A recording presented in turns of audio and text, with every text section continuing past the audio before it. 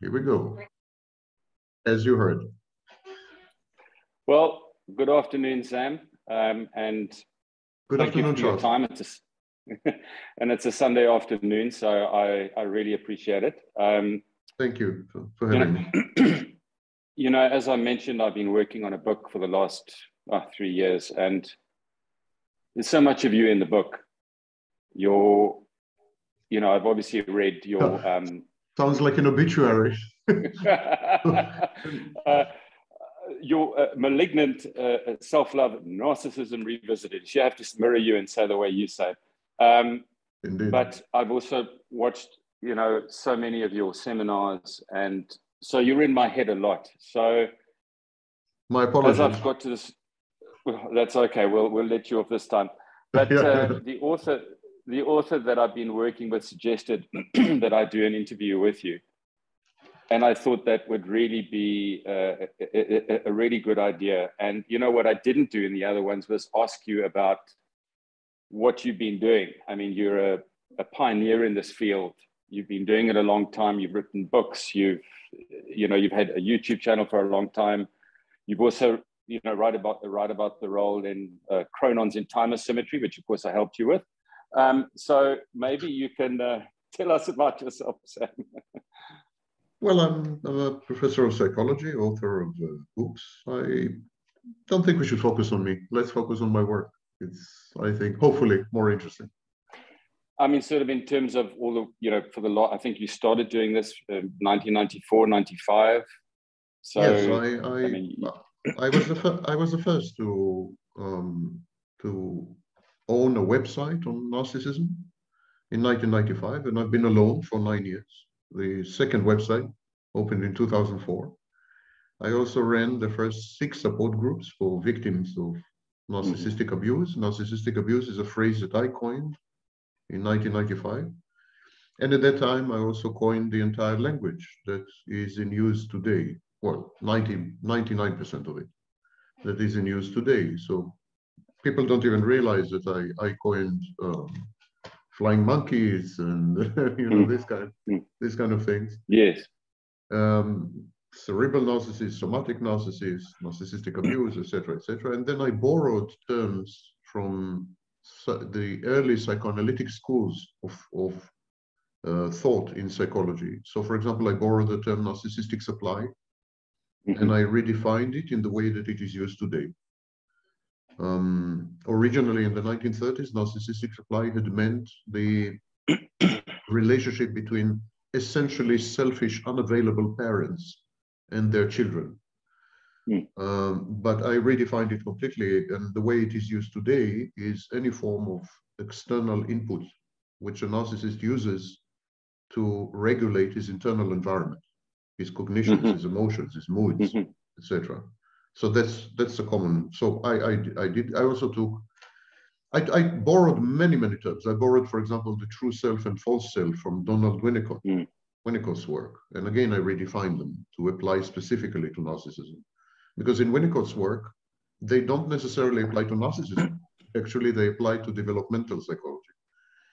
I borrowed the, the cycle of of the narcissist. So that's idealization, evaluation, and I added to it two phases, discard and replacement, etc., etc. So I had I had to single-handedly come up with the whole discipline because there was nobody there, and there was no language to communicate these highly idiosyncratic experiences, highly highly personal. It's a little like a mystical experience. How do you communicate a mystical experience? It's like how do you communicate? Yes. How do you communicate an experience of narcissistic abuse? Yeah in the absence mm. of a language. Mm. Of a language. No language. Yeah. Allow me one second. Yeah. Turn on the lights. So there was simply no, no, language, and and then when the when when I came up with the language, which took about two years, suddenly people had a way of of sharing their experiences and mm. actually sharing their, their experiences first and foremost with themselves in other words, becoming aware. And so they became aware, and then they they formed like-minded groups, and they discussed these issues in these groups, etc., etc. And for nine years, I was doing all this alone. And and then in 2004, People discovered there's money in it, and the avalanche started. As simple as that. And then YouTube came. I had the first YouTube channel on narcissism. I still have, and and many others entered the field. I am not quite sure that it's been a beneficial process because the word had been the word narcissism had been debased and and bandied around mm. in all the wrong ways. It became a pejorative or a curse word. And many, many people who had entered the field are totally unqualified and are distributing misinformation and disinformation. Yeah. And, yeah. yeah. And many of them, even with academic degrees, even with advanced academic degrees, and even with advanced academic degrees in psychology, are not experts in narcissism. Psychology is a giant field. You need, you need, you know, and they're not. They simply are not. So they, there's a commercial there's a commercial corruption of of the whole thing, which had reached hmm. monumental mm. monumental proportions. There are tens of millions mm. of members of support groups for narcissistic abuse, and what I'm hearing online is is blood blood curdling, absolutely spine chilling. the I would say that for every one correct bit of information, precise bit, something that relies on studies and research. And mm. for every one, there's about 99 that are wrong. And some of them are dead wrong. Wow. Some of them are dead wrong, like exactly the opposite of what. But there is demonization of narcissists. So you need yeah. to demonize them. Yeah. And you have this stupid list. Yeah. You have this stupid list, like 10 things you need, you need to know about this and 10 things you need to know about that. And you have, of course, all kinds of wild, wild outgrowths and uh, a movement of essentially covert narcissists who call themselves empaths and super empaths. Yes. So they are definitely yeah. narcissistic people. They're grandiose. Mm -hmm. So, um, like everything else, like everything else, the internet had not been good ultimately. If I have to look back, and I'm the oldest, I'm the oldest guy in the block. I invented the block. If I if yeah. I if I look back, no, it's not been beneficial. It's not. I I think all in all, it had there was more damage than, than help, in my view. The vast majority of people get stuck in the victimhood phase. They they adopt a victimhood as a, as a form of identity, and they can't progress. Yeah. They can't break out. I yeah, yeah, yeah. Sam, what is your your own fascination with with the subject? Because you obviously find it so fascinating. It, it's so interesting to you. What is your interest? Well, it started with the fact that I've been diagnosed with narcissistic personality disorder twice, but mm.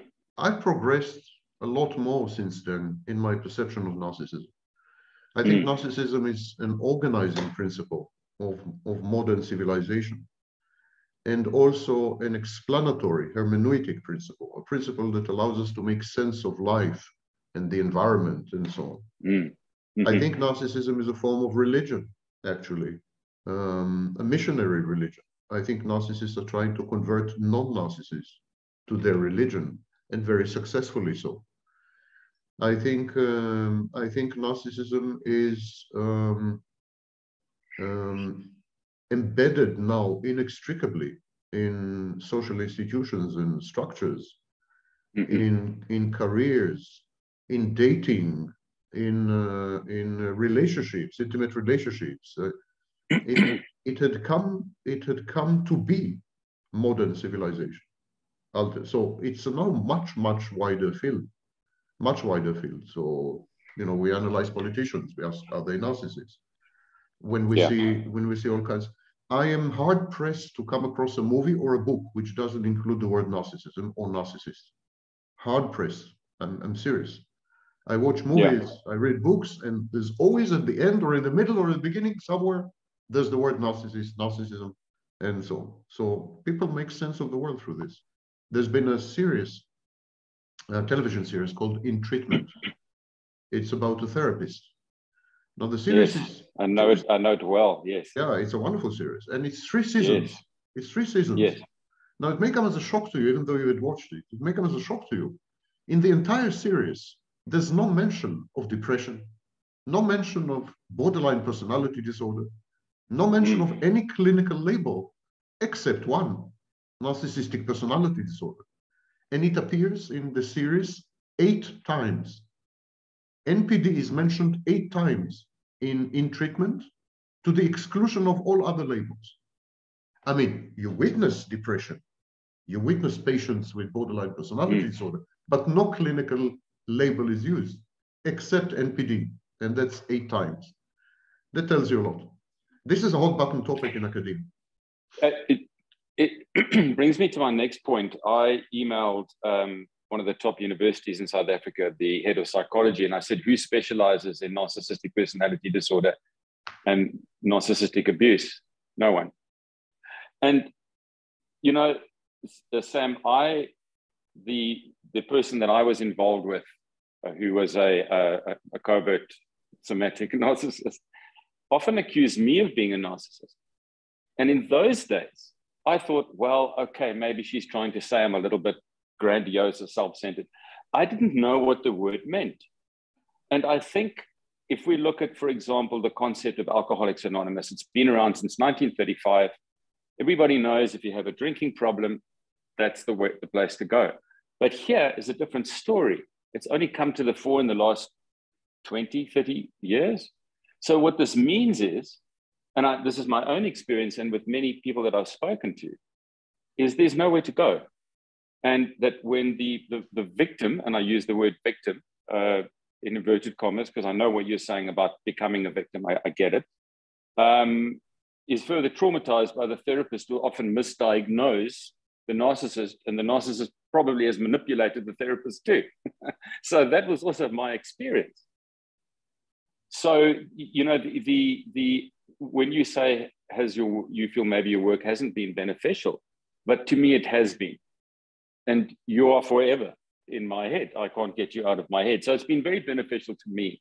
No, no, and that's, that's why I, as I said, I wanted to do this because I thought having it straight from you, I've, you, you quoted quite a lot of times in the book, but I think that if we go back to the basics and we say um, there is a difference between a narcissistic traits, narcissistic style, narcissistic personality disorder, the disorder is on a spectrum.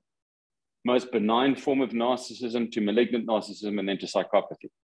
So maybe you can tell us about the difference between the traits, the style, and the disorder itself. First of all, we are in a period of uh, transition. There are powerful voices in academia and outside academia which dispute the very existence of narcissism as a clinical entity or a clinical mm-hmm. construct. Indeed, the book that defines mental health for, for the rest of the world, with the exception of North America, it's known as ICD, edition 11, the 11th edition of ICD, which is International Classification of Diseases. So the ICD, for example, had eliminated this diagnosis. It actually eliminated all personality disorders and had come instead with a single personality disorder with different emphasis, which had been, which had, which is what I had been advocating since 1997. Absolutely, I, I agree. I, I don't think there should be different. I think people switch and oscillate between a variety of what today is, are considered to be separate diagnoses. And I think narcissists as well gravitate and, and oscillate and vacillate between of being an overt narcissist and then suddenly they become covert and then they go back to being overt and they're somatic one day, one day and cerebral the next. There's no type constancy. Mm-hmm. There's no type constancy because narcissists collapse, they fail. So if you're cerebral and you fail, for example, you fail to impress people with your intellectual prowess and and pyrotechnic uh, intelligence, you fail, mm. you become somatic because you need supply and you don't care where you, where you get it. So you become somatic and you mm. use sex and whatever is left of your body to try to obtain supply. It's the same with overt and covert. It's, if you fail as an overt, if no one pays attention to you or, or they ridicule you when you try to, then you become covert. You become a seething, passive aggressive, envious creature. So we already know that there's no type constancy, and we're beginning to think that we have completely misconstrued the whole field. We believe, increasingly believe today, that what we used to call overt narcissist, the in your face, dare, daring do, Donald Trump type, type narcissist yeah. Yeah. is actually a psychopath.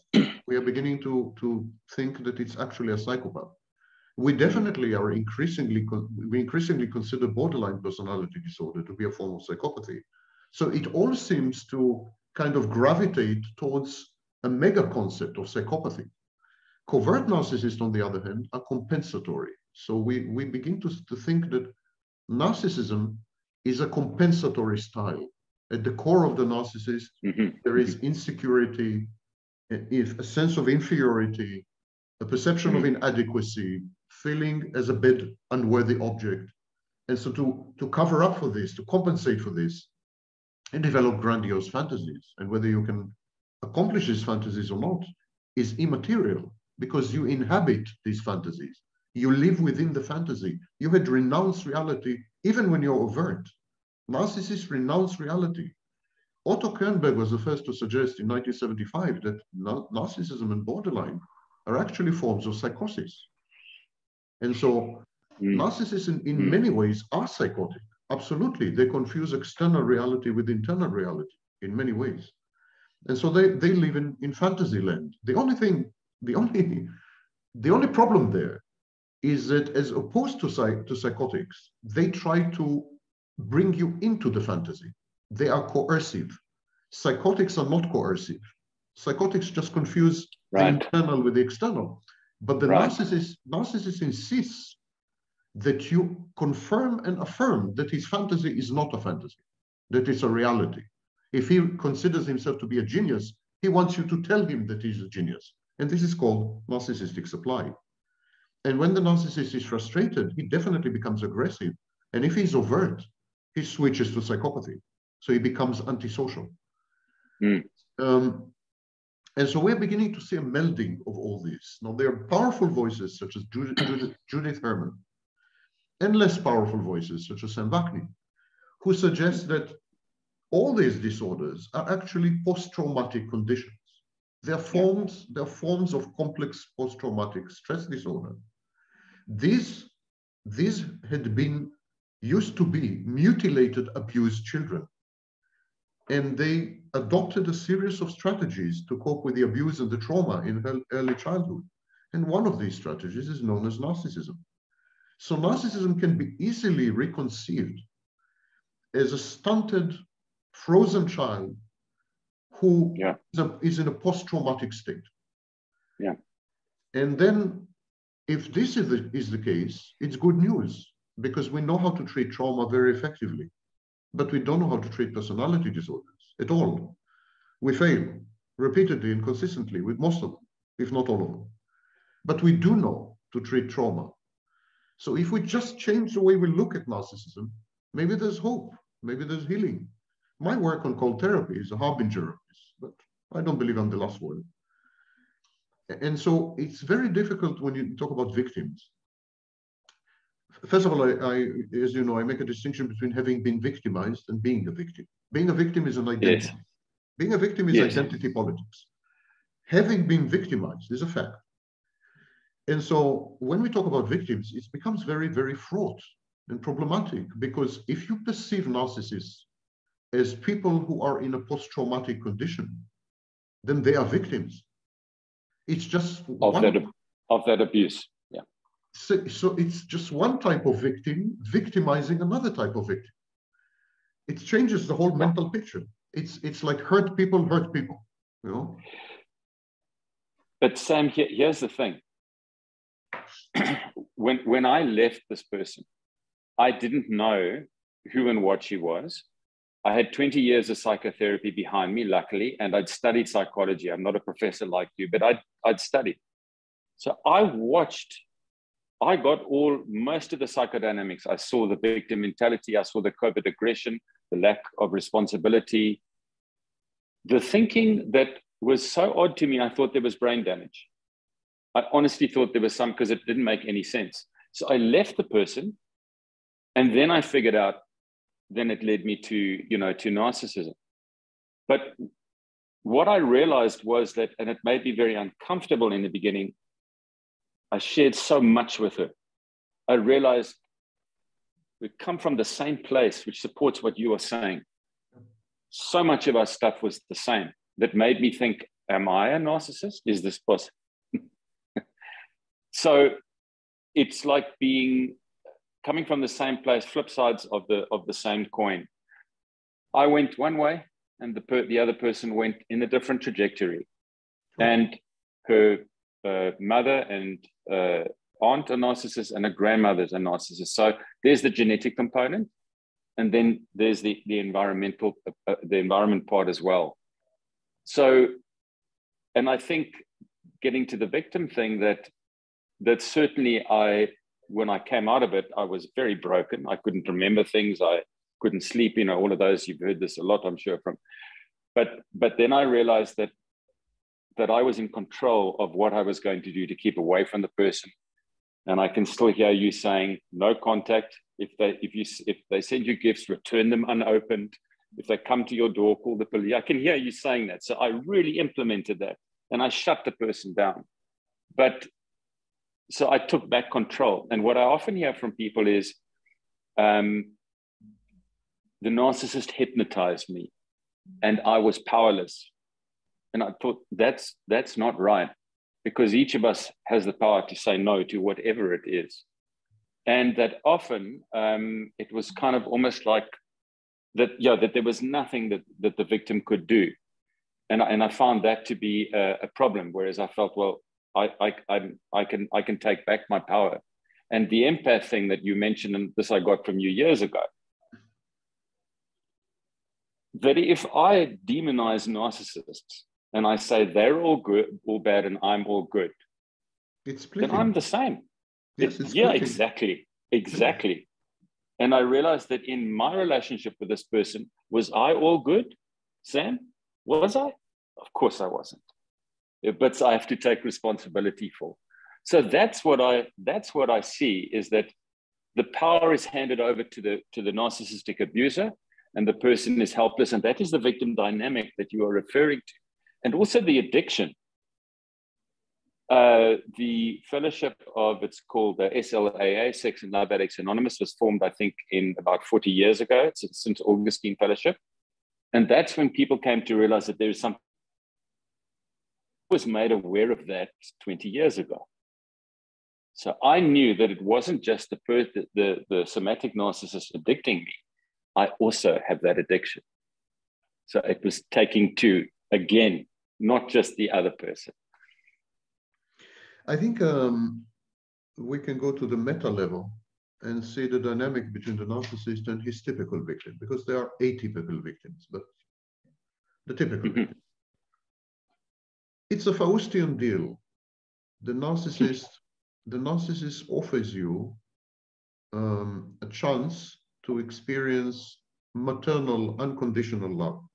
And that is the love bombing and grooming phase. And so there the narcissist says you're, he idealizes you. Says you're perfect, you're amazing, you're the most intelligent thing, the best thing that ever happened to me. I've never come across someone like you. You're, you're changing mm. me. You're changing me. You're omnipotent. You're mm. so he talks to you as a mother would, as a mother would to, to her child. Mothers idealize their children, otherwise they wouldn't be able to suffer them. children are insufferable unless you idealize them. So mothers, nature endowed mothers with the ability yeah. to overlook, to overlook the, the nuisance that children are and to idealize them. The narcissist does the same to you. He idealizes you. Of course, by, by idealizing you, by idealizing you, the narcissist idealizes himself. So it's co-idealization, but you experience it as unconditional maternal love, which all, that's the elixir of life. That's the holy grail. That's what we all seek in all our relationships. The mother bond with the child. Sorry, yes. to interrupt. The mother yes. bond with the child. It's a second chance. It's a second chance because the vast majority mm. of us grow up with mothers who are less than less than perfect not good enough mothers, mothers who are absent, who are selfish, who are tired, who are angry, or we all have this, this baggage of not good enough mothering. And here's the narcissist comes and says, I'm going to give you your childhood back, and this time it's going to work. This time it's going to be perfect. And mm. now, now I'm going to be your mother, and I'm going to love you unconditionally. I'm going to idealize you, and moreover, I'm going to give you, grant you access to your own idealized image in my eyes through my gaze. So you can see yourself idealized through the narcissist's gaze. That's extremely addictive because it's the first time you experience unadulterated self-love. Narcissi the narcissist's gift to you is the ability to self-love, but an idea, a false self. The narcissist creates for you an impromptu false self, a small false self, and tells you mm. you can fall in love with this false self of yours. I'm granting mm. you access to this false self of yours. And you can finally self love safely in my ambit because I'm your mother mm. and I love you unconditionally. Mm. And then what happens once he got you addicted? He withdraws. He simply withdraws. He insists then that you do the same for him. He wants you to to serve as a mother figure. And by the way, this is regardless of gender. It's a, it's a universal yeah. He mm-hmm. wants you then to mother him. But then, of course, if you mother him and he mothers you, a concept which I call dual mothership. And if he gives you access to this hall of mirrors where you see multiple reflections of your idealized self and you fall in love with these reflections, you get addicted to them, then he has infinite power over you. He has infinite. He can withdraw your self-love by, by denying you access to this hall of mirrors, mm. by blocking this idealizing. And he can become a bad mother. He can withdraw his maternal unconditional love and acceptance, which would be hmm. excruciatingly painful. So he strikes a deal with you. You're going to suspend yourself. You're going to kill yourself mentally. You're going to die. And on this condition, that you agree to die mentally, he will guarantee you access to all these goodies. And, and the vast majority of people accept the deal. They die and they become an internal object. They become what we call in psychology an introject. They are the narcissist takes a snapshot of you, photoshops the snapshot, that's the process of idealization, and then proceeds to interact with the snapshot. Why? Because the snapshot is safe. The snapshot will never abandon the narcissist, will never challenge, yeah. disagree, yeah. criticize, whatever. That, in other words, the snapshot provides total control. But you, your part of the deal is to never deviate from the snapshot. But how can you never deviate from the snapshot? If you cease to exist. Mm. To never deviate to never deviate from a static representation of you, you must become static. You must die, in effect. So when you, when you begin to show signs of independence, autonomy, agency, self-efficacy, when you make decisions, when you have new friends, when you travel, when you study, you are threatening the snapshot and you are breaching the contract with the narcissist because you gradually diverge from the snapshot. And so the narcissist regards you as, an, as a threat to the internal balance in his mind. You, you become a threat, you become a persecutory object. In short, you become an enemy. Hence, hence the devaluation and discard phase. Yeah. This is this is the relationship with the narcissist in a nutshell. Now, one more comment, and I will let you go. um, I tend to hog the limelight, of course. So well, it's fascinating. So it's not, it's not a problem, Sam. It's fascinating. Uh, really one, fascinating. One more thing. You mentioned hypnosis or being hypnotized or people reporting this. Actually, yeah, yeah. Actually, they have a point, ironically or paradoxically. They do have a point. There is there have been recent discoveries in neuroscience about a phenomenon called entraining.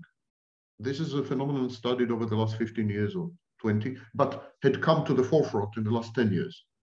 And we discovered, for example, that using music, we can create in your brain a replica of my brain. So when two people right. listen, when two people play the same music, their brains become utterly synchronized. And when I say utterly synchronized, the EEGs are indistinguishable. You can't tell whose brain is it. They become one brain. Now the narcissist is used to this because of narcissistic supply what the narcissist does, he takes your input, his input, her input, and he creates his mind, he recreates his mind on the fly. He uses this constant input to recreate his mind, and I call it the hive mind, the swarm mind. Yeah. It's a kaleidoscope. It's a it's a it's a collage. So the narcissist is used to the environment having a determining effect on his mind. His mind is formed and shaped by the environment on the fly. So he's used to that. So what he does, he entrains you. He actually replicates his mind in yours, literally. Literally, he synchronizes the brainwaves through entrainment. But then the question is, how does he do it? You don't, not all, not all couples play music together. So how, how does he succeed to do that? Well, there is a form of music that the narcissist uses to accomplish this. It's called verbal abuse. Verbal abuse has all the characteristics of music. It has repetitive refrains, it has cadence, right. it has cadence, it has tempo, it has rhythm, it has harmony, it has melody. Verbal abuse is music. It's exactly like rap, rap hip hop. It's music. It's a musical style. I can actually take a verbal abuse session, put it online, and people will think it's music. So he uses verbal abuse to entrain you, to create in your mind, literally and physically, physiologically, a replica of the brainwaves in his mind. In this sense, it's very close to dissociative suggestive states, such as hypnosis. Now, the reason I agree with you that it doesn't, it doesn't justify victim passivity is mm-hmm. that in, train, entraining, in training takes place only during the abusive session. Once the session is over, you are de-entrained. You're no longer entrained. So then mm. you regain, you regain self-control, autonomy, and you can make decisions. But during these intermittent reinforcement bullying sessions, you are you are actually um, passive and with without uh, almost any control. And in this sense, you're hypnotized during this period. Yeah. so, Sam, if we go back to um, the difference between narcissistic trait style and and what's currently called the disorder. So the first, the, to, the first to suggest the first to suggest that there's a difference was a guy called Len, uh, Len Sperry, and he suggested that there should be a distinction between people who have narcissistic style also known as assholes, and people who have mm. narcissistic personality disorder. Mm. Then Millon, Theodore Millon came into the scene, adopted Len Sperry's work. He cites Len Sperry in his seminal book, Personality Disorders in Modern Life. And so he adopted his work and he added another layer, the narcissistic personality. So now we have three layers. We have style, personality, and disorder. And the difference, difference between them is quantitative, literally, but quantity to the point that it becomes quality. So, for example, traits would be exaggerated, lack of empathy would be more extreme, behaviors would be escalated, uh, exploitation would be emphasized, envy would be much stronger in, in the disorder. Antisocial behaviors are almost exclusive to the disorder, etc. So it's a it's a matter of quantity. It's an exagger it's these are exaggerated forms of each other. The disorder, though, when you cross into the disorder, you are beginning to have several psychological and psychodynamic features which are absent from the style and from the personality. For example, you are no longer able to relate to other people as external. What you tend to do as a narcissist with a disorder you tend to internalize other people. You tend to create internal objects represent which represent these people. And then you regard other people as figments of your mind, as extensions, which explains a lot of the abuse and a lot of the because you it's uh, if he abuses if I abuse you as a narcissist, it's self-inflicted because you're not there, you're in my mind, you're an internal object. Mm. So I subject you to all the dynamics in my mind because you're a part of my mind. For example, my mother taught me to not have boundaries. I, abuse means when the parent, parental figures or caregivers breach the child's boundaries. Don't allow the child yeah. to separate. Okay. So I am used to not having boundaries. But because you are part of my mind, I have no problem to breach your boundaries. I do to you that which was done to me because you are me. You are me. That is something victims can, can't wrap their, their, their heads around. I mean, so, so and that's one example of, of, of, of, psychodynamic feature or psychological feature which clearly distinguishes uh, uh, the disorder from all. I would say that perhaps the second thing, with your permission, perhaps the second thing is where a lack of empathy crosses into sadism, antisocial behavior, um, the tendency to abuse in a way which is negating and vitiating of the victim. And that's why I coined the phrase narcissistic abuse to distinguish it from other types of abuse. Other types of abuse leverage some dimensions of your existence financial abuse, legal abuse, verbal abuse, sexual abuse, psychological abuse, you name it, all of them leverage some aspect of you. Sexual abuse leverages usually your genitalia, you know? So it's a limited type of abuse. Narcissistic abuse is all pervasive, ubiquitous, and above all, the main goal and the only goal of narcissistic abuse is for you to cease to exist because your separateness constitutes a threat. And narcissists are not equipped to deal with separateness. They were never allowed to hmm. separate. So this is where this is where a lack of empathy in the disorder becomes extreme. I mean, I think that the word narcissist and narcissism it, it's used very freely today. And i think i got this from you as well that adolescence for example is a naturally narcissistic phase where the child is individuating uh, becomes god and saying to my it's saying to parents uh, off you go. I'm i'm becoming my own person. So this is healthy. Uh, without some modicum of narcissism we're not going to survive. Of course.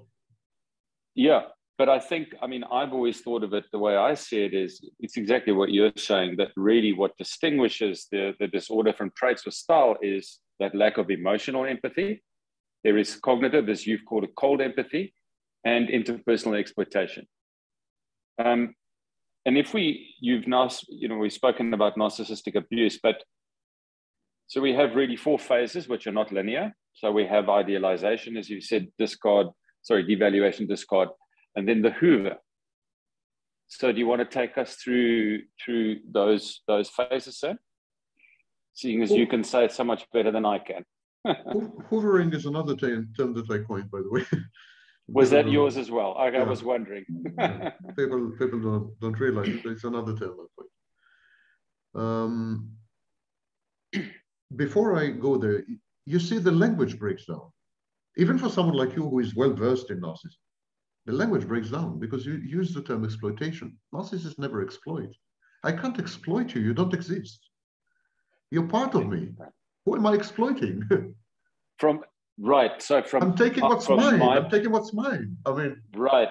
So from my perspective, yeah, yeah not yeah. from a narcissist perspective. Yeah, I get that. I didn't see that a few years ago, but now I do. It, yes. it breaks. It breaks the mind. I mean, it's mind mind boggling. Yes. It's the mind yes. can't function anymore because it's so alien. Narcissists are so alien in the way they yeah. perceive others or don't perceive others. That's a, the core problem, by the way. Narcissists have no what we call object relations. The narcissist is stuck in a phase of development called self-relation, but he doesn't progress to object relation. Object relation simply means relating to others. And as a joke, it's very telling that in psychology, the word objects means people.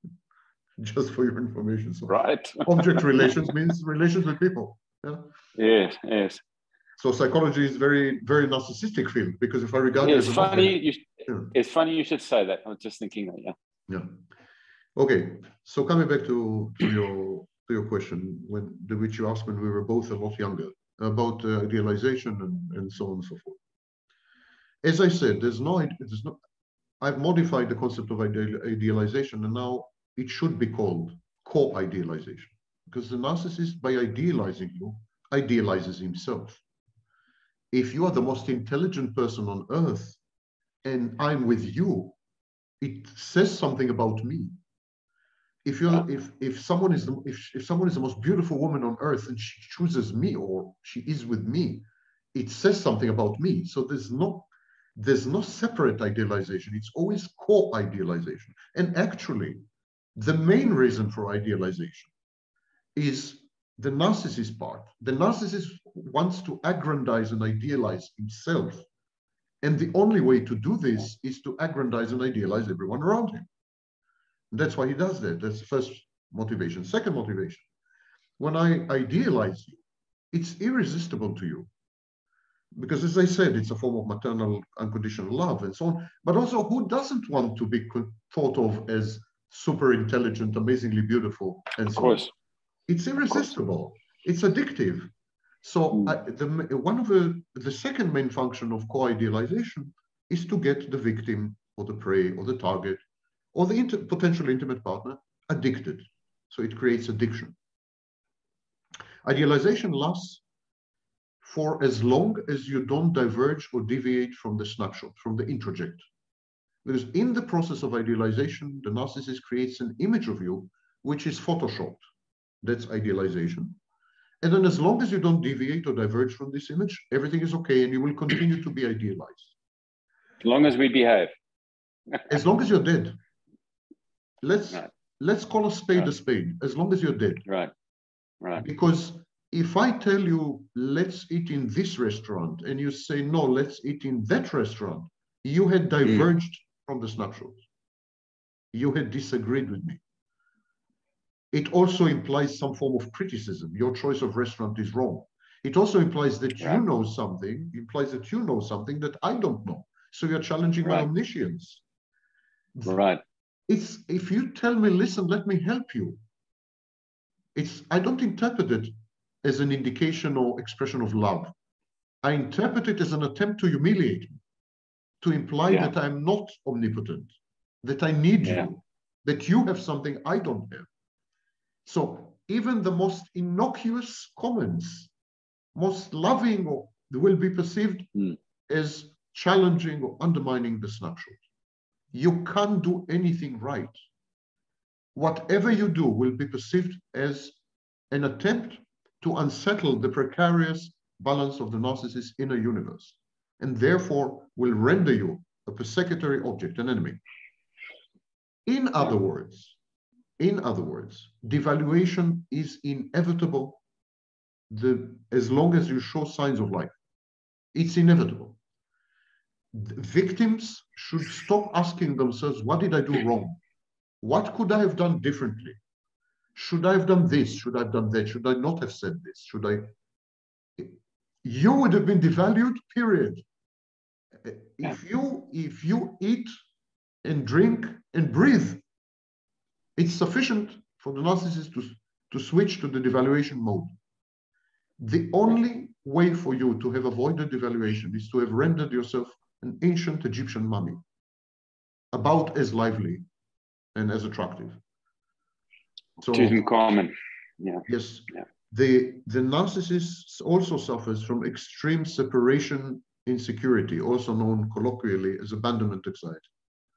Mm. So the moment you show a sign of independence and autonomy, any, the slightest, a new friend, going out for coffee, you doing something without the narcissist or without his permission, anything, using the smartphone. I mean, any, because when you're with your smartphone, you have a private enclave, a private world. It's very mm. threatening. Mm. Anything you do will provoke devaluation. Now, why did the narcissist need to devalue you? because you're a source of threat. And because you are proof positive that his judgment had been wrong. I mean, he, if he needs to devalue you, then he judged you wrongly, didn't he? So he needs to eliminate you. And he eliminates you by, by claiming that you had changed. There's new information. You had changed somehow. Or he found out new things about you. Or you went crazy or you became insufferable, or something. There's been a transformation in you that does not vitiate, does not negate his initial judgment of you. You had changed, not the narcissist. That's the first thing. And the second thing is, now that you have changed, he can create a negative introject of you. He can create the opposite of the yeah. snapshot. He can create a snapshot that is ugly, that is stupid, that is, and then this justifies discarding you. And that's uh, the last phase. He needs to discard you because your very existence is a threat. And this is what people fail to understand. Narcissistic abuse is not about something you do or something you don't do or choices or decisions or lifestyle. Yeah. yeah. Narcissistic abuse is about getting rid of your existence, killing you, in effect. If possible, physically, but usually mentally, killing you. Then the discard. Following the discard, you actually there's another phase, which is replacement. The narcissist tries to find an alternative to you and go through the whole process again. The narcissist creates something called shared fantasy. Shared fantasy was first described by Sander in 1989, not by Vaknin. and the shared fantasy is a, is a fantastic space where the narcissist can maintain his grandiosity and where he can exert full control over you and negate your agency. So that's the shared fantasy. Shared fantasy also includes fantastic elements like dreams, aspirations, um, a, a, brilliant, rosy future. It could be children, could be family, it could be money, it could be whatever. But so that's a shared fantasy. He drags you into the shared fantasy. And uh, the replacement is simply finding another partner for the shared fantasy. If he fails at the replacement phase, then he switches to phase 4, 4B. And 4B would be hovering. Hoovering is a last resort, actually. People think that narcissists hoover habitually. They try to avoid it as much as they can. It's a last resort. It's indicative of the narcissist's failure to find a replacement for you. But there is one case where the narcissist will never ever hoover you. And that's if you had mortified the narcissist. In 1957, a group of scholars described a phenomenon in the study of narcissism known as narcissistic mortification. Hmm. Narcissistic mortification is when someone, an intimate partner, shames you and humiliates you in public in front of people you care for, people whose opinions you value. So if I were to create a situation where you are, for example, sitting with your colleagues or with your peers, and then I were to shame you and humiliate you horribly in front of all of them, I will have mortified you. And then narcissists never hoover after mortification. Mortification is a fascinating process because what happens is the false self and all the defenses break down. They're inactivated. And the narcissist is faced with his own internal void known as the empty schizoid core. The narcissist is faced with a black hole at his, at his own center. And that's, of course, a harrowing, traumatizing experience. So he will never come near you again. You have the capacity to traumatize him. Is that the same as narcissistic decompensation, Sam? Decompensation is an element in mortification. Decompensation simply means, yes, decompensation is a clinical term for, for when defense mechanisms, psychological defense mechanisms, are disabled, mm. are disabled. So they're, they're no longer able to filter and reframe reality in a way which will conform to the narcissist's self-image. So his hmm. self-image is assaulted and assailed by numerous countervailing data from reality. And he can't stand that and his false self mm. falls apart. Borderlines, by the way, go through decompensation as well. The disabling of, of these defenses creates a very interesting phenomenon. Um, and that's that's the crux of my work nowadays, and and it's be- it's becoming widely accepted in academia. I just gave lectures in McGill University about this, and I'm going to give lectures in Cambridge and so on. I suggested that actually we should consider all personality disorders as an assemblage of self states. So people with personality disorders don't have a, don't have a single self. They have multiple self states Mm. And then what mm. happens is under stress, under duress, under humiliation, rejection, abandonment, etc., etc., or when challenged and undermined, for example, by your independent behavior, people with personality disorders switch between self states. So, for example, the borderline, mm. borderline, if she perceives rejection and abandonment which is her greatest fear, if she perceives them, then she decompensates, her defense mechanisms switch off. Mm. And she switches from one self state, the borderline self state, to a psychopathic self state. She becomes a psychopath, uh, more precisely, mm. a secondary psychopath. Yeah. So the self states argument or the self states mo model is a fascinating model, in effect. Because, first of all, it allows us to unify all personality disorders. We just say, okay, there is a, a limited set, set of self states, mm. and these apply to borderline, these apply to narcissism. And also, it means that when the narcissist switches to another self state, he can easily become covert or a borderline. Or he can become a psychopath, or a psychopath can become a narcissist, or he can become a borderline. I mean, it, it opens up the, the field. It, it allows for all these transitions that had been observed in therapy and in clinical settings, but were not accounted for by the DSM and other categorical texts. So it's much more fluid. You know, getting back to the Hoover, Sam, the last time I spoke, I'd never received a Hoover before. And um, I got one, I think, uh, a year and a half after I left the relationship. And it was the most bizarre, disturbing experience.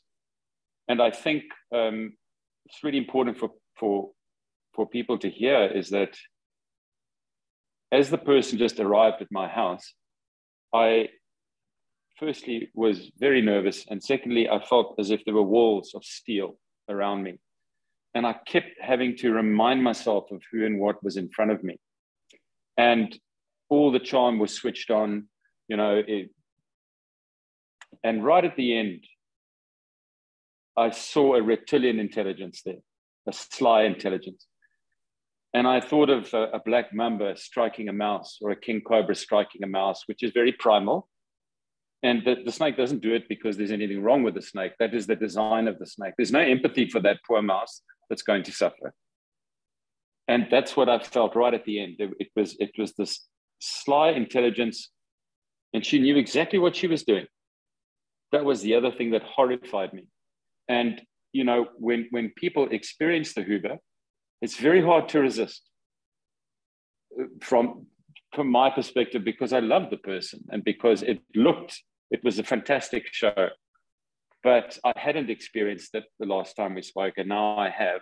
And all I can say is it was difficult to resist, but I'm very glad that I did. I did not allow myself to be drawn back in. And I think that's very important that people can be, you know. And also, I was thinking that when, I left the person, I joined a a group of for narcissistic abuse survivors, and the person that I started speaking to, um, he had to plan his exit over a year. He planned it because he was married, they shared money, etc. I didn't do that. I could just leave this person. I just packed up and I left. I didn't know who she was. I just left. But but he had to plan it.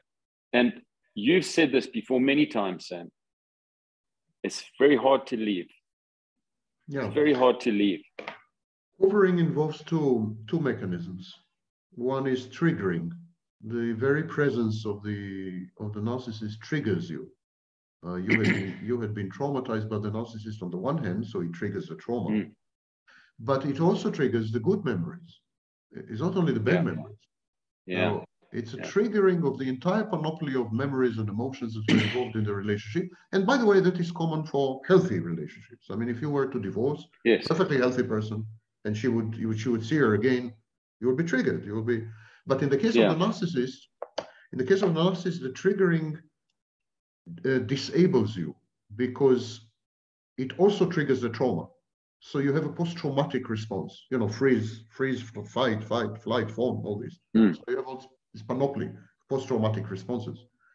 This is the triggering. And the second thing that hoovering does, it entices you it entices you because you see what happens typical with typical victims of narcissists what happens is a process called merger and fusion merger and fusion when you either willingly surrender your boundaries or you never had boundaries to start with you're codependent for example yeah yeah and so you merge you become one organism with a narcissist you become a single unit uh, a, a, a Cerberus with two heads you know Uh, and so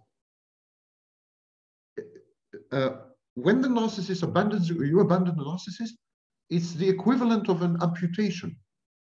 And you have a phantom limb left behind. It's yeah. like I, I, would amputate yeah. your leg, but you would still feel your leg. Yeah.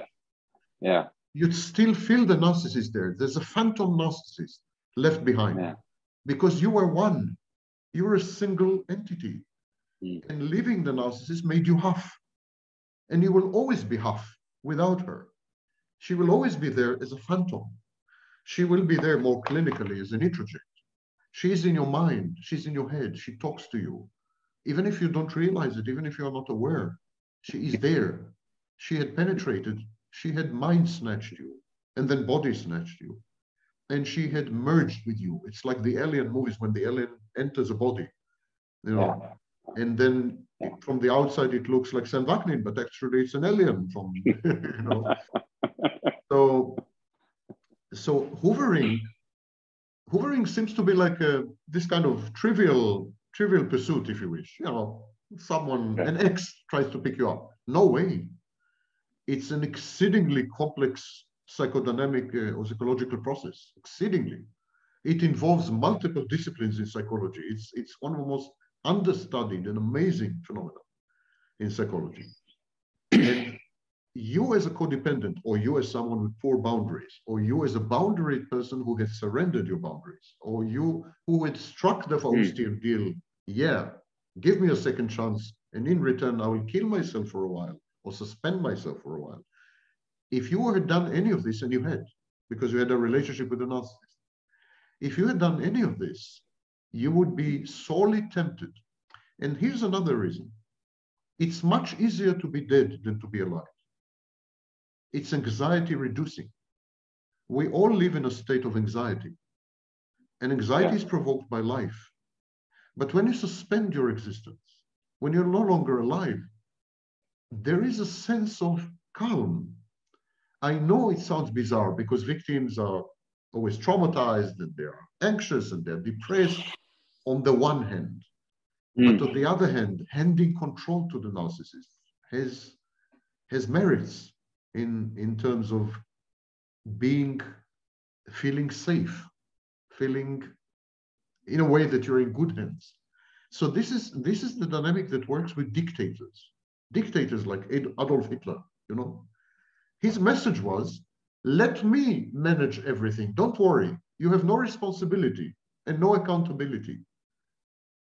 I become the external locus of control. And that leads us yeah. to the concept this leads us to the concept of external locus of control. In a relationship with a narcissist, your life is controlled from the outside. You have an external locus. And so you are never to blame. You're never guilty. You're never responsible. You're never accountable as long as you play the game with the narcissist, as long as you conform.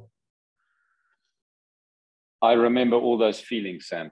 Exactly what you're describing. there was a great sense of safety and peace in being with the person. I I I, get you completely. You know. Maybe another concept. Sam, uh, to, another concept mm. to in, inject here uh, would be the comfort zone. People who end up with narcissists usually default to a comfort zone. This comfort zone reflects mm. something in childhood. So maybe they were not allowed to separate in childhood and to become individuals. Mm. The parent emotionally blackmailed them, or there was emotional ambient incest or I don't know what, and they couldn't separate and individuate. So here's an opportunity to again not separate. So this is a comfort zone. Maybe they had been abused as children. And so they gravitate to the narcissist because, because she is an abuser. I mean, that's the job qualification. She's an abuser. And so you need to recreate the comfort zone of having been abused. Now, what is a comfort zone? Comfort zone is not positive or negative. Actually, most comfort zones are negative.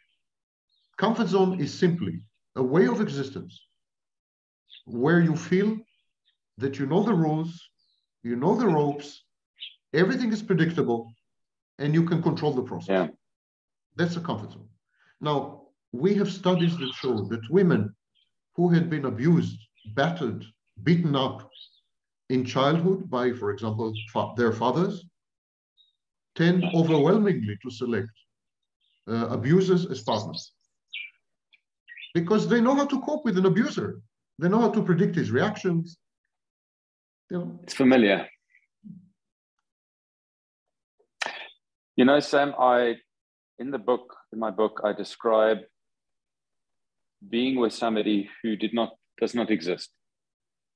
All that existed was a mask that that uh, uh, uh, danced and gleamed with portrayals of authenticity, kindness, and personality. And I got that from you because you said that there is actually nobody there. Yes. And so when I when I think about her now, I think um, I shared so many special moments. We traveled to a lot of countries and so on. But there was nothing from her side. And I think that's a difficulty for, for, for us, as I, I call myself a survivor of narcissistic abuse. And you actually said this in one of your lectures in London, I think, with Richard. You said the most difficult thing for you to understand is that none of you are special to us. That's what you said. I remember. Most oh. difficult thing. Yeah. yeah. That that in her mind, I I'm I'm a, a, just a different make of toaster or a different make of car or a different make of cell phone. There's nothing special about me at all to to her. You're, in, you're interchangeable, yes. The interchangeable units. That, those were the, the terms that you used. Um, and I think also, Sam, that in the beginning, and we did touch on this a little bit earlier, is that I would say, if I was this person, I wouldn't have behaved in that way. And then I realized that was a fatal error. I had to look at it from the perspective of the narcissist. And you were talking about the, the breakdown of language earlier. Adolf Hitler thought that what he was doing was right. So that's his perspective. In my perspective, you shouldn't go and kill people like that. But that's his perspective. I'm just busy reading a book about Jonestown, about Jim Jones, and listening to how he killed all those people. From his perspective, he was what he was doing was okay. Was okay. He was saving them. It was saving. So, yeah. So I think if we if if we look at it from if I look at it from my perspective, it doesn't make any sense. But if I look at it from the perspective of the narcissist, it makes complete sense. Who's right and who's wrong? Maybe it isn't a question of that. It's a question of what's okay for me and what's not okay for me as as as each person. It is definitely wrong to convert the discourse on narcissism to a morality play. Good versus evil. Yes. Good yes. versus evil, right versus wrong.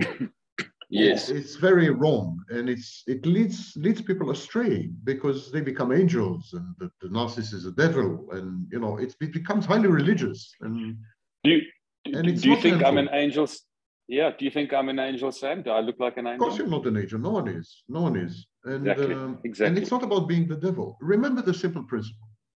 The narcissist yeah. knows no better. He wants to do to you what had been done to him because he considers yeah. himself because yeah. he considers himself su superior. He wants to elevate you to his level. I'm doing you a favor to be in my company, to share my life with me, to make love to me, it's enormous privilege because I'm yeah. a unique being. I'm a superior, I'm a light being, you know, a superior creature. And I want to do to you what had been done to me, because that way you will become me. And by yeah. and I'm elevating you to my level. When I'm making you me, when I'm making you a clone of me, a replica of me, I'm doing you a favor. And a once in a lifetime favor. Now, what had been done to me? First of all, I was not allowed to separate. So I will not allow you to separate. I will not allow you to make this horrible mistake of becoming an individual.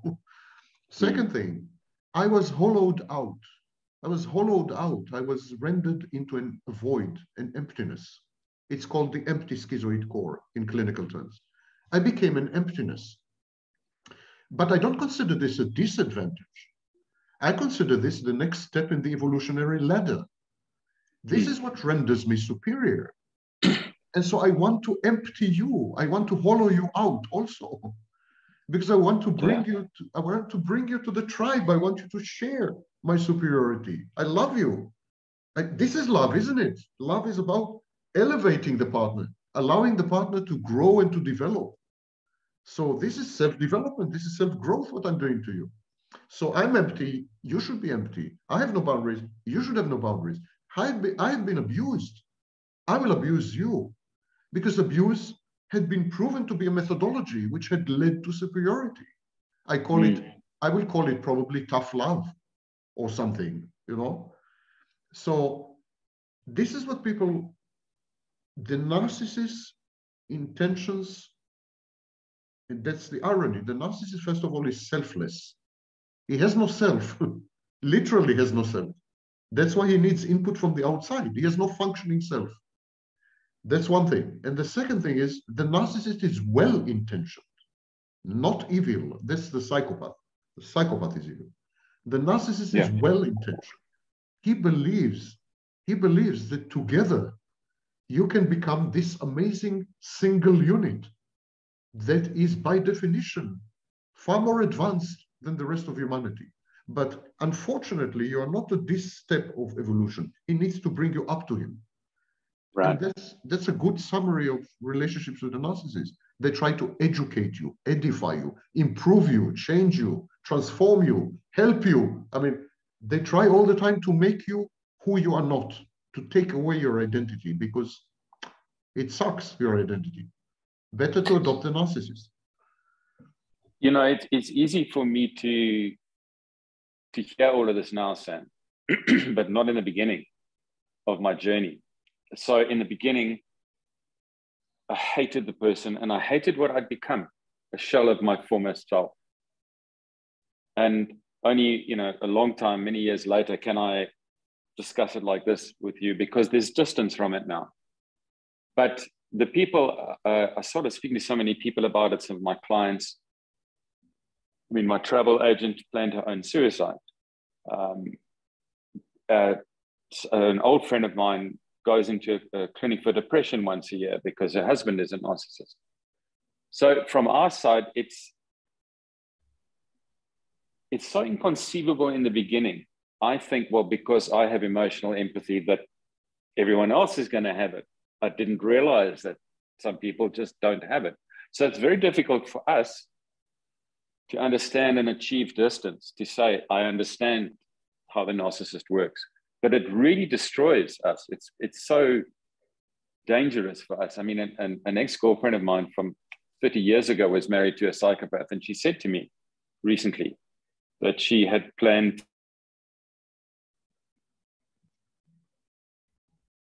Oops, you froze, Charles. I don't know if you can hear me. Sam, you there? Yes, I can yes. hear you now. You froze. You said a friend of mine had planned, and then you vanished. Yeah. So uh, she was married to a psychopath for I think uh, maybe about 10 years. And then she was so unhappy that she had asked somebody to uh, to kill her, take mm. a hit out on her. So what I'm, I mean, you you know this better than I do, Sam, the damage that, that, that, that it does. So that's the only reason I can speak about it now with a sense of humor and, and more distant, you know. What what would you say to people who who are in a relationship with a narcissist? Don't what would your advice be, Sam? Don't be. Right. Honestly, all the rest is bullshit. Yeah. yeah. There's a lot of bullshit online. Do this, do that. I invented most of this bullshit, by the way. I came up with mirroring and with uh, you name it. I yeah. came up with with seven of eight techniques. The only technique I did not come up with is gray rock. So gray rock is not my invention. But all the rest, what you hear about, I mean, I invented. And yet I'm telling you, they're all bullshit. The, the only viable uh, solution. Save your life, get away, no contact. And no contact means no contact, no texts, no social media stalking, yeah. no, no gifts, no third party introductions, no flying monkey, not, none, no contact. No attempts because the brain, the brain plays tricks on you. It would come up with a million reasons why yes to be in contact only once for a few minutes. It's just once for a few minutes. And there's excellent reason for it. There's an excellent reason. And one of the main, of course, alibis is having common children or common property. Mm. Or it's my mother. How could I give up on her? Or it's my child. It's my son. How can I give up on him? You know? These are all excuses. And I don't yeah. have money. I don't have money. It's an excuse. You don't have money, it's an excuse. You have common children, it's an excuse. It's your mother, it's an excuse. They're all excuses. Now, of course, some departures are much more complex than others. But departure is, it must be one way or another. You have common children, let your attorneys communicate. He has to pick them up, don't be there. Ask your cousin to be there. There is visitation, make them supervise, or ask someone to be there. I mean, find a solution, no contact. He wants to talk to you, he cannot talk to you. You have a lawyer. Or you have a neighbor, I don't know. Or you have a good friend. It's your mother, walk away. She is your enemy. She threatens your life. Walk away. Why do people but, why do people not consider narcissists as, as life-threatening? They are. It's not that narcissists are, are life-threatening because of their practices. Narcissists are life-threatening because it's you or, or them. It's, if you're alive, the narcissist's life is threatened, at least mental life. Yeah. If he's alive, he needs you to be dead. He will offer you a lot for this. I mean, it's a bargain. it's a bargain death. He will offer you a lot to stop to exist. But he needs you to stop to exist. It's you or him, you or her. The final invoice, and I think I got this from you too, Sam. The final invoice is for our life. That's you. That's in my book too. The final invoice from the narcissist is for our life, you know? Yeah. Um, I mean, my own no contact has been in place ever since I discovered who and what she was. Completely blocked, never looked for her on Facebook. I speak to nobody who, you know, just completely no contact. And that's the, because Sam, apart from the risk of, of, of, of getting back together again, I would like to believe I'm strong enough now. Um, it's also like, um, as an alcoholic, having one drink. It's not okay. It's the same principle. And the other thing, Sam, if I talk to my abuser, I'm giving the signal to myself that what the person did is okay. And it's not okay. It's the same as if I come to your house and you open the door, you please see me and I start punching you. What are you going to do? Hit me back, close the door. That's what you should do, right? So the message is if I talk, if I'm in contact with my abuser, I'm saying to me, it's not okay. And and you know the other thing, Sam, when I when I left the person, I thought I got the better of her, but I didn't. I got the better of myself. That's what I did. I beat myself because that's that was the war, which is which is what you've been speaking about, is that that that battle to leave you know what I mean? The, the, the difficulty in leaving. So, Sam, is there anything, any other advice? I, I mean, yeah. just before you answer, you know, again, I'm, I'm not saying it probably for the third time, but people that I know, whether they're clients, friends, etc., the majority of them do not leave. I know I did, and I know that this friend of mine, he left, the one who planned his exit over a year. Is, is that in your experience too that most people don't leave? They not, not only do not leave, but they re-victimize. They they keep selecting mates which are replicas of the of the of the narcissist. Right. Right. So we have like serial serial victim victimhood or serial, yeah. you know, yeah. the, this, my third husband were, were is as narcissistic as my second husband, who was even worse than my first husband. And why you why, why do you keep choosing these people? You know? But it's conditioning. We know childhood conditioning and so on. Yes, there was one more piece of advice. Yes. The narcissist is a wily, wily animal, uh, enemy. He picks up on your body language. He picks up on your facial micro expressions. Yeah. He, he picks up on words you say, but much more importantly, he picks up on words that you do not say. Anything can and will be used against you in due time. Confidences you shared, emotions witnessed, facial expressions, hunched, a hunched shoulder, a twitching leg, a, a tick, anything and everything is cataloged observed, cataloged for future use yeah. and future abuse. That's the main reason for no contact. Because every minute you spend with the narcissist is providing is equivalent of providing the narcissist with ammunition for a future battle. You are giving ammunition to your enemy. And he is going to use it. Don't kid yourself. It's like yeah. the, the United States equipped the Mujahideen at the time. It came back to, to bite them in the ass at 9 11. Yeah. 9 11. Yeah. Yeah. You are giving weapons to your enemy. And trust me, uh, I'm, I happen to be a narcissist. Had I decided to victimize you, had, had you been in my crosshairs, in this session alone, I have enough ammunition to ruin you for good. For good, and I mean for good, to render you utterly discombobulating psychotic in a mental ward for the rest of your life. And that's in 45 minutes. Now, I happen to be a super intelligent narcissist. This is the most dangerous kind. I'm also a psychopathic narcissist. But even a run of the mill pedestrian narcissist would do a, a job 50% as, as good as mine. That's also exceedingly dangerous. And, and, and I'd like to add to that, Sam, that the person that I was with was not bright. Yeah. But boy, boy, was she good at what she did. Yeah, exactly. I, I with with with with with my background in psychology and being in therapy, I I I thought I was losing my mind. Most tigers. I thought I was losing. I heard that most tigers score score very low on IQ tests. I heard so. But you wouldn't take the risk, mm. would you, with a tiger?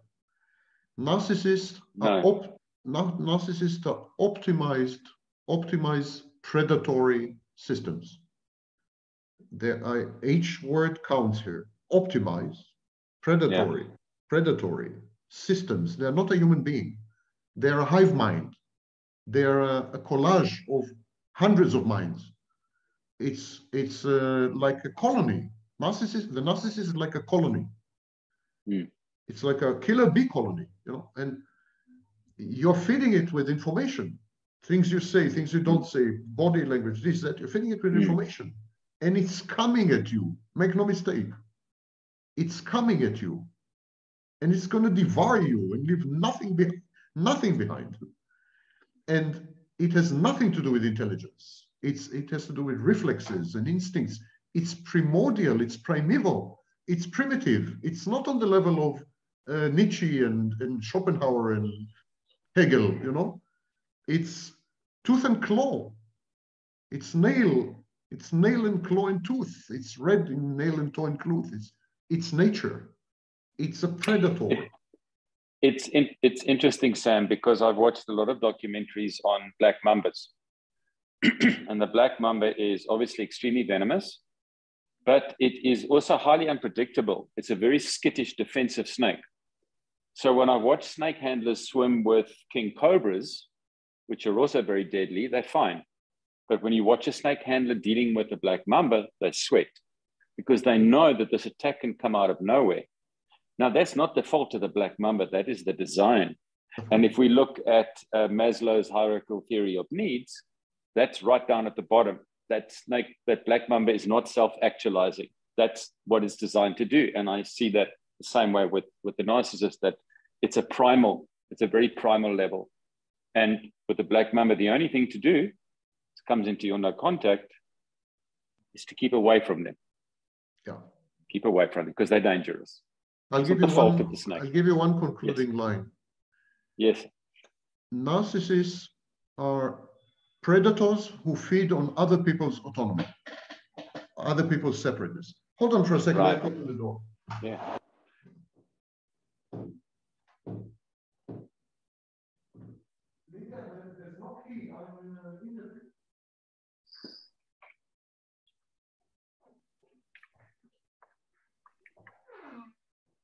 I'm sorry. I had to open the no door. Problem. Yeah. No problem. So narcissists are, are narcissists suck other people's autonomy, other people's separateness. Hmm. The, I think that's the main feeding mechanism of, of narcissists. they they are kind of supernatural being, if you wish, animals that go around and when they see that you're autonomous and separate, they suck it out of you. And narcissists are very good at creating crowds and mobs and masses. Mm. Mm. Throughout history, the great leaders of, of mobs and crowds, ochlocracies, yes, ruled by mob, mob rule, were narcissists, of course. Adolf Hitler comes to mind, and much less malevolent and pernicious, Donald Trump. These are narcissists. What they do is they suck the autonomy and separateness of people and render them into a mass, indistinguishable mass. That's what the narcissist does to you. It renders you protoplasmic. It, it takes you back to the beginning of life, in effect. And you're fighting for your life. That's what it felt like, Sam. So basically, what you're saying is when I said, What's your advice if you're involved with one? Get away. No contact. Only. My only advice. Get away. Don't bother with all these techniques. These techniques are, are just ways for you to stay. You're trying to convince yourself to stay. So you say, well, there's a way to manage it. It's manageable. Don't worry. I, oh, gray rock. Yeah, sure. I can manage. This is nonsense. You can't fight the narcissist. Narcissist is a superior apex predator. There's no way you can you can survive this. Who doesn't care about what he or she has to do to win? Doesn't care. Predators don't care. Uh, last time I spoke to a COVID 19 virus, he didn't seem to care. It didn't. It didn't have too much compassion, did it? It didn't have compassion and, and so on. Also, it was not highly intelligent, as far as I could see. But it's it's efficacious. It killed six million people. You know like another virus Sam, I, with a mustache. Exactly, exactly. I, I really want to, you know, thank you again for your time on a Sunday afternoon and Always just to acknowledge. I know I've said this in emails, but I'm going to say it again that, and when you when the book is is finally out, you will obviously get mailed a copy, and I'm afraid you're going to find yourself all over it. So thank you for your for all all of your your contributions. Narcissist wet, wet dream. Thank you. Well, precisely. Thank you, Thank Sam. You. Charles, always good to see you. Yeah, likewise. Cheers for now, Sam. Don't be a stranger. Bye. Take care. Bye. All right. Bye.